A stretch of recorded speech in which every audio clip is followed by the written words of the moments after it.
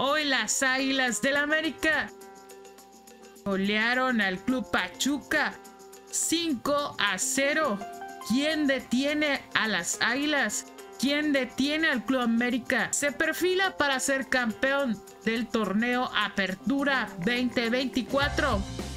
Hoy Pachuca perdió el invicto y cae entre las águilas del América. América solo tiene una derrota. Perdió con Cruz Azul 2 a 1 en la jornada 1. Venció a Tigres 1 por 0 y le quitó lo invicto. Venció a Monterrey 4 a 2. Venció a Chivas con tremenda goleada. Le empató a Pumas 2-2. Le empató a Toluca 2-2. Empató con Juárez 0-0. En la jornada 16 va contra el Atlético de San Luis de visita.